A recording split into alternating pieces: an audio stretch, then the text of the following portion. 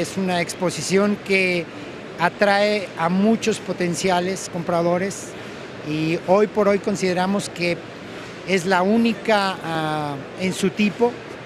donde nos atrae a, una gama muy interesante de prospectos y de clientes actuales.